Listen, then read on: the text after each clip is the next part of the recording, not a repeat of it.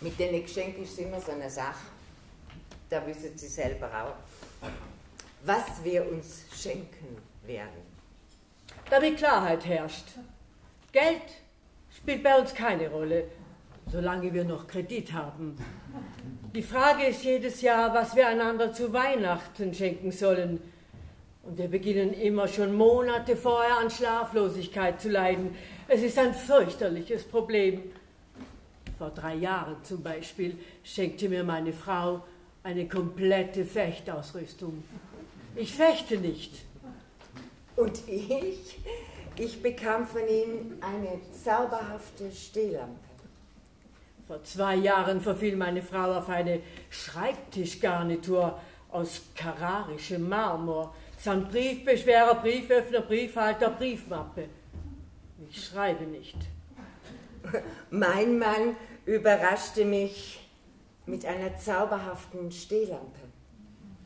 Und voriges Jahr erreichte die Krise ihren Höhepunkt, als mir meine Frau eine persische Wasserpfeife schenkte. Ich rauche nicht. Mein Mann bedachte mich mit einer zauberhaften Stehlampe. Heuer trieb uns die Suche nach passenden Geschenken beinahe in den Wahnsinn. Gute Freunde informierten mich, dass sie meine Frau in lebhaftem Gespräch mit einem Grundstücksmakler gesehen hätten. Wir haben ein gemeinsames Konto, für das meine Frau auch alleinzeichnungsberechtigt ist. Erbleichend nahm ich sie zur Seite, Liebling, das muss aufhören. Geschenke sollen Freude machen und keine Qual sein. Deshalb werden wir uns nie mehr den Kopf darüber zerbrechen, was wir einander schenken sollen. Wir müssen vernünftig sein, wie es sich für Menschen unseres Intelligenzniveaus geziemt.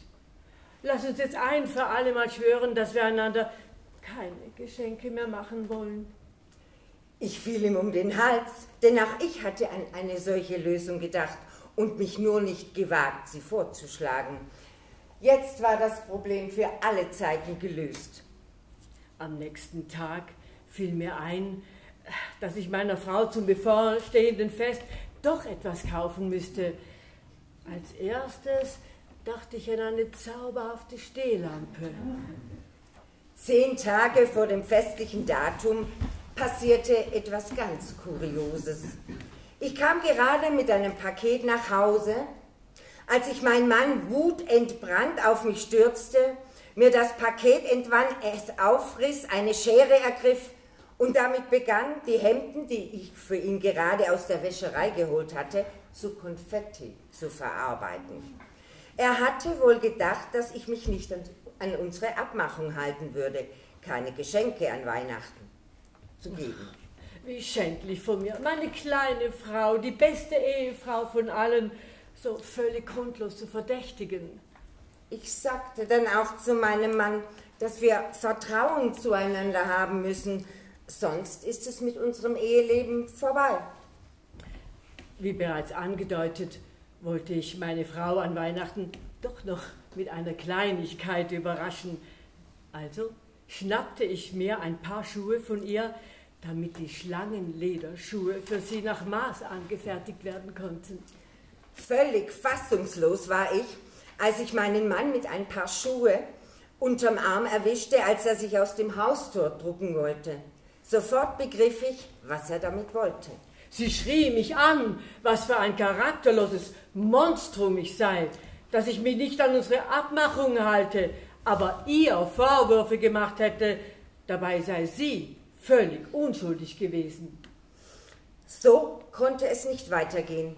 Wahrscheinlich würde er mir auch noch Vorwürfe machen, wenn ich ihm nichts schenke.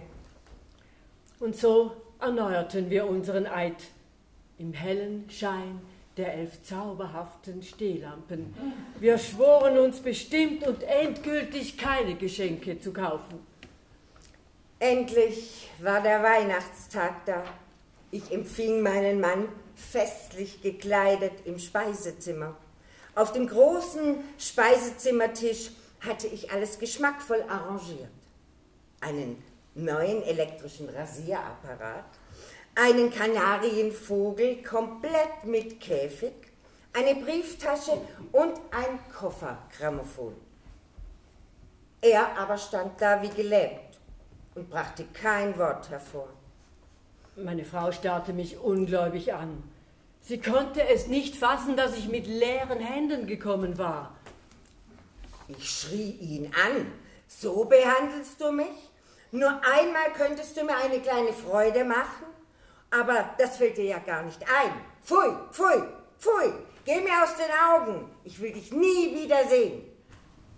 Und erst, als sie geendet hatte, griff ich in die Tasche und zog die goldene Armbanduhr mit den Saphiren hervor.